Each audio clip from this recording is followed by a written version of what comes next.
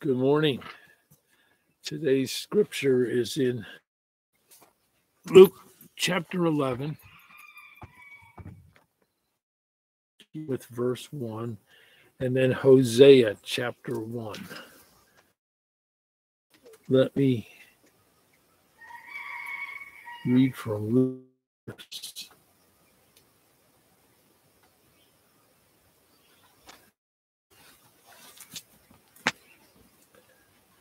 Luke chapter 1. Now it happened that he was in a certain, and when he had finished one, when he had finished, the disciples said, Lord, teach us to pray as John taught his disciples. He said to them, When you pray, this is what you shall say. May your name be held holy, your kingdom come us each day our daily bread, and forgive us our sins. For we ourselves forgive each one who is in uh, to us, and do not put us to the test. He also said, Suppose one of you has a friend and goes to him in the middle of the night and says, Lend me uh, three loaves, because a friend of mine on his travels has just arrived at my house, and I have nothing. And the man answered from inside the house, Do not bother me. The door is open now, and my children are with me in bed. I cannot get up to you. I tell you, if the man does not give get up and give it to him uh, for friendship's sake, per will make him get up and give him uh, give his all he wants. And our second reading, Hosea chapter one. Of what Yahweh said through Hosea. Yahweh says to Hosea, Go and get children with a whore, for the country itself become nothing but a whore by abandoning Yahweh. So he went, Gomer, daughter of Diblaim, um, Eden bore him a son. Yahweh then said to him, Call him Jezreel. A little while I will punish the house of Jehu uh, for the of Jezreel, and put an end to the sovereignty of the house of when the day comes, I shall break the bow of Israel and the in the valley of Israel of Jezreel. She conceived a second time and gave a birth to. Yahweh then said to him, Call her Lo Ruhamah, for I shall show no more pity for the house of Israel. I shall never forget Instead, I shall take pity on the house of Judah and shall sit not by bow or sword or force of arms, not by horse, but by Yahweh, their God. After weaning Hama, uh, she conceived and gave birth to a son. Yahweh said, Call him Lo Ami, for you, my people, and I do not uh, exist for you. This is the word of God for the people of God.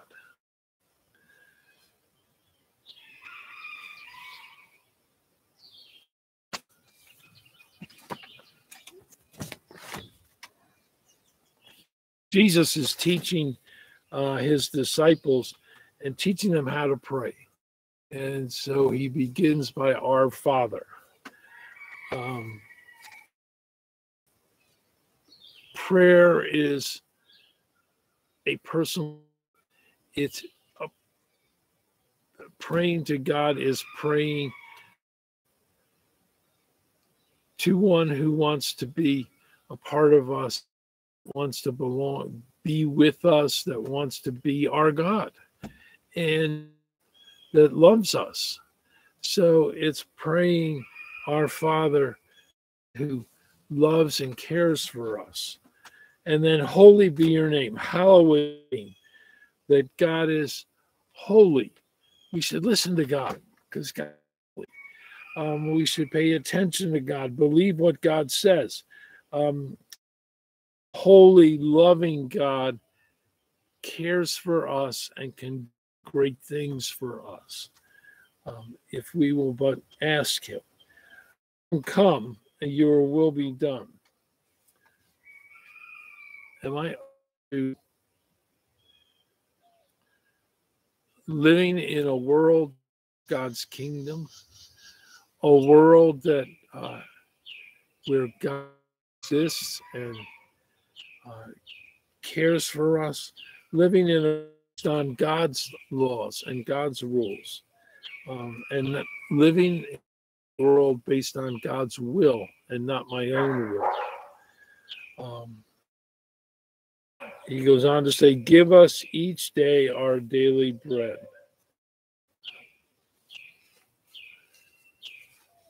perhaps one of our biggest. We are taught in this country to be independent and to take care of our be you know self providers and god is saying i will you. I will give you your daily bread. It doesn't mean we're supposed to sit and um, doesn't mean we're supposed to sit back and just wait for God uh, feed us, but it means that we're supposed to uh, um, trust that God will provide and not other ways that we're going to provide for ourselves. Do you hear the wren here? He's getting closer and closer. And I'm not what he wants, but anyhow, um, stay our daily bread. Trust that God has the power to provide for us. And then forgive our sins. Also, forgive everyone who sins against us our task to forgive everyone who sins against us, to forgive us. Uh, first, accepting God for ourselves, and then um, forgive anyone else that sins against us. Not that they forgive us, but we're willing to forgive them. And so part of our reconciliation that uh, God will um, you will ask God for forgiveness and uh, and seek forgiveness and then forgive other people uh, who may have sinned against us. Um, it's probably the most personal part uh, because it calls us to forgive. Um, we have a way of not forgiving even when someone seeks to reconcile with us. Uh, live in a world, a society based on vengeance. And uh, instead of forgiving, we want to get even. How and just forgive without needing to get even. Criminal system based on getting even. Um, how can someone um, rather than forgive and love someone? I posted on my Facebook page, my personal page, a uh, interesting thing a couple weeks ago about when someone has uh, did a great crime uh, or wronged a group, your family or your community, instead of uh, person, sitting down with the person, surrounding the person by your community, and spending a couple of hours person about all the good things about that person affirm all the positives of that person and uh, just lifting that person up and affirming him uh,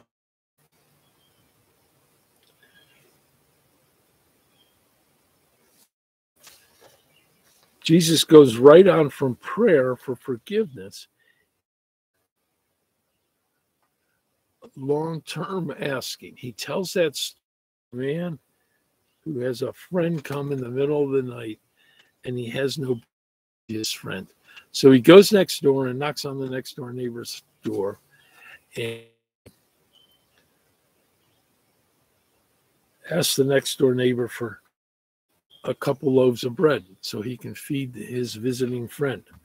And the next door neighbor is tired and in bed and doesn't want to come answer says, Go leave me alone where everybody's asleep. And uh, the man keeps knocking and asking, and Jesus says, He's not going to give you bread because and because you're his friend, he's going to give you bread because of your persistence. So he goes on, Jesus goes on to say, Ask and it will to you. Seek and you will find. Knock and the door will be to you. Now, I don't understand the grammar, but I'm told in the Greek, the tense that uh, that these words are written, these verbs, is a an ongoing tense. It's present going. And so what Jesus is saying is ask and keep on asking. Knock and keep on knocking. Um, seek and keep seeking knock and keep on knocking and and as because of your persistence you will receive what you ask for. Um, the conclude teaching on prayer. Ask and keep on asking knock seek keep on seeking. That our prayers to God need to be continuous. Every once in a while, someone will say to me, Isn't it about time we take off of the prayer list? And yet we leave that person on the prayer list. Um, and we keep praying and praying and praying, uh, remembering the person that's listed there. And every while we hear about a healing. We hear about someone well. Uh, we hear about answers to our prayer. But it's not an overnight thing. God works in our time and in our cooperation. Sometimes uh, what God does requires a lot of time to change our attitudes and to work with us to accomplish what we're asking for.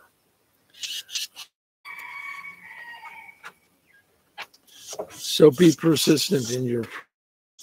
Now, the Old Testament lesson on Hosea, I think it tells us a story persistence. It is written as a uh,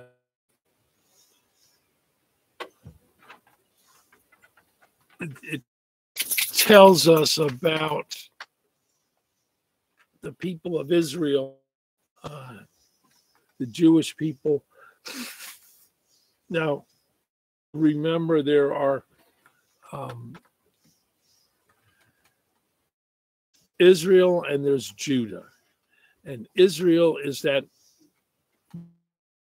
kingdom that keeps rebelling against God, keeps do things differently, keeps uh, turning away from God, uh, making deals with the Assyrians or the Egyptians or whoever.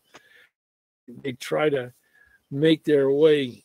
And then there is uh, Judah, that though it goes away from God now and then, they really return to God and uh, periodically have kings store the temple and drive out all of the idol worshippers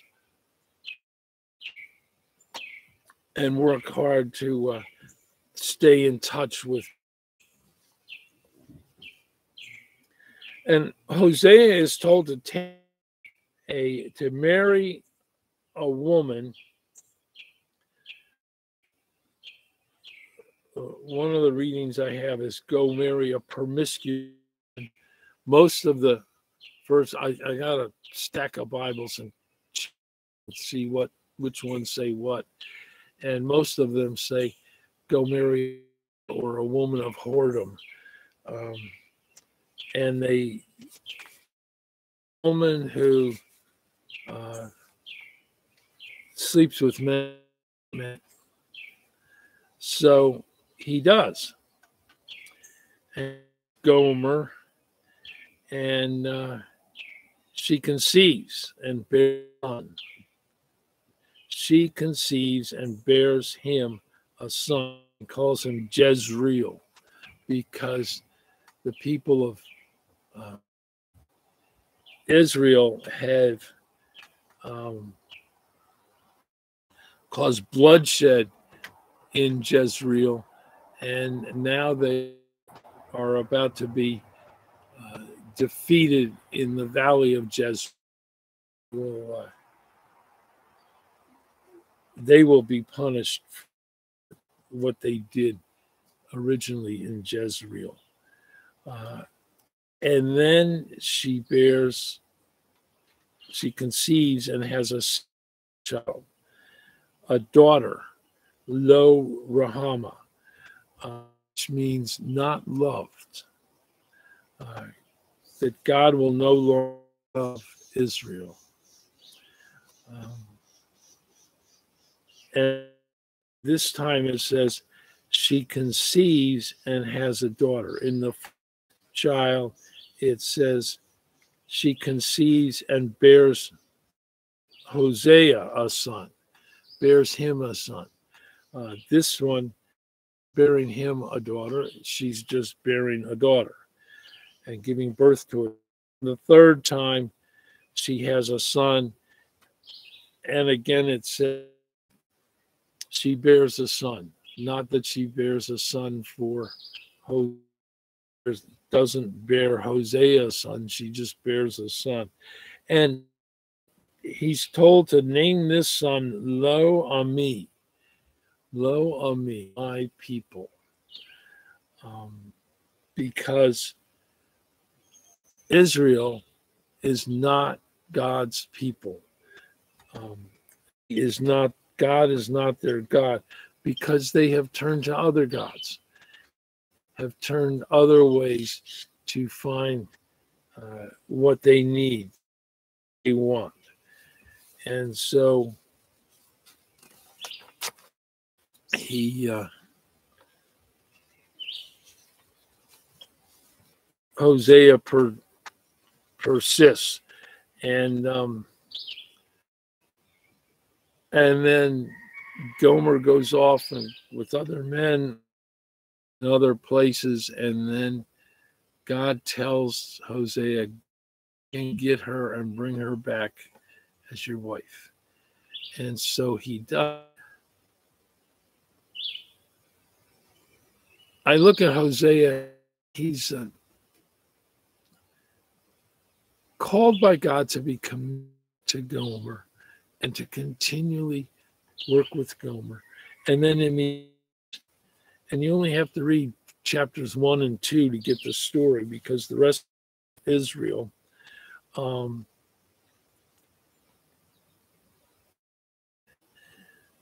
in the end, uh, he says Israel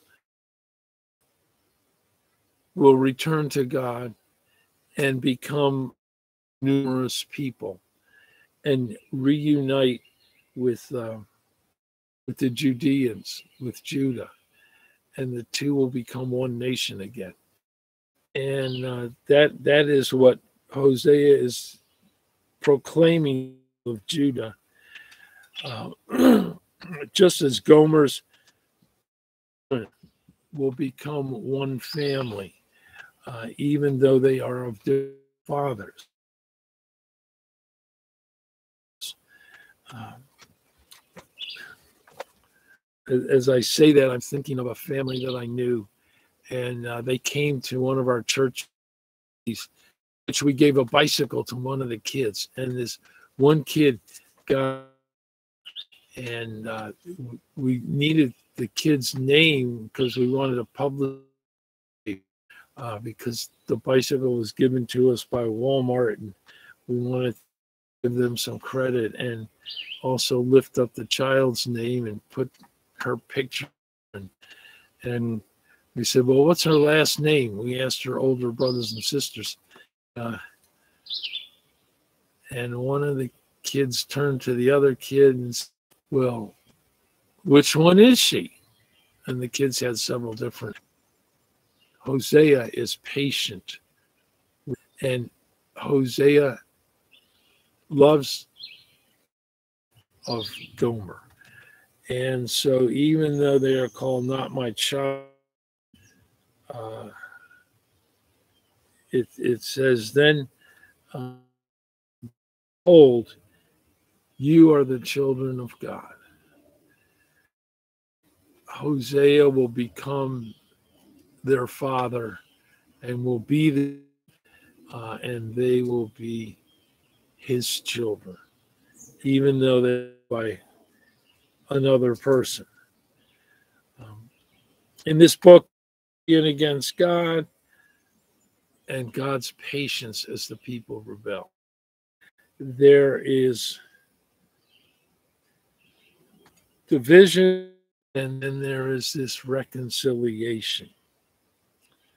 Gomer betrayed, but he, but Hosea goes and embraces her as his wife again. Um, he has a time where they don't have anything, any physical contact with each other, but he brings her back and they go through that time of uh, no physical. And finally, they come back, and there's a sense that they just like Judah and Israel are going to be reunited. And it happens through patience and waiting um, that they become reconciled. Their reconciliation requires total forgiveness, change of heart, and growing into a new relationship. It's not overnight, it requires time healing. Uh, sometimes we forget the time in reconciliation. Someone can say, I'm sorry that I did wrong, and we will them, uh, okay, I accept your apology, and that. Um, and yet, there needs to be a healing and a time of learning to trust each other again. Learning to trust. Someone has betrayed you, you need to develop trust again. Um, we that are not trusting each other that need to learn that trust. There are also uh, that have broken apart and separated and uh, learn that trust and need to grow back together. Congregations need to another. Two different congregations that don't speak. I've mentioned friends of ours that were looking for a Quaker uh, meeting, and they knew that there was something between five and there was like a, a strong to each other. And they finally found out that it was all over that happened during the Revolutionary War, and they still hadn't reconciled with each other since the Revolutionary War. We have the groups separating apart in the United Methodist Church. And I wonder if this word from Hosea to do with bringing the groups together and to being reconciled with each other. This week in the news, problems between political parties and problems within the Republican Party, and a call for reconciliation. It's not a call for reconciliation, a need for reconciliation, a need for parties to come back together with each other and the opposing factions to quit criticize and start working with each other. And um, things where reconciliation can happen. And then there's freedom from God. Have you done something that you think uh, alienates you from God or alienates the church? And how can you be reconciled? Something the church has done to you? Uh, can you forgive something that's uh, that you blame on God?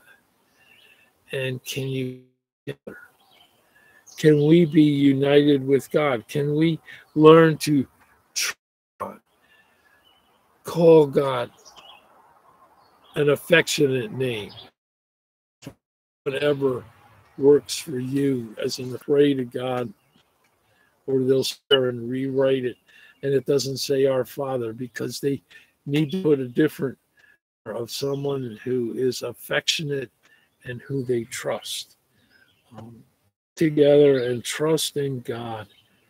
Um, trust that god's going to provide for what we need in our lives. And uh, challenge to wait for god's response responses. God is working, like I said, in our time. God, us to respond to God and respond in uh, an acceptance and forgiveness. And you have the time, you continually be lifting up your concerns to God and your needs to God. Pray again the Lord's Prayer as we know it, not as it's written in the Bible, but as we know it today. Our Father, who art in heaven, be thine, thy kingdom come, thy will be done, on as in heaven. Give us this day our daily bread. Our trespasses, forgive us our sins. Forgive others who have trespassed against us, who have sinned against us. But deliver us from evil. For thine is the power, and thine is the glory forever and ever. And new relationships. Amen.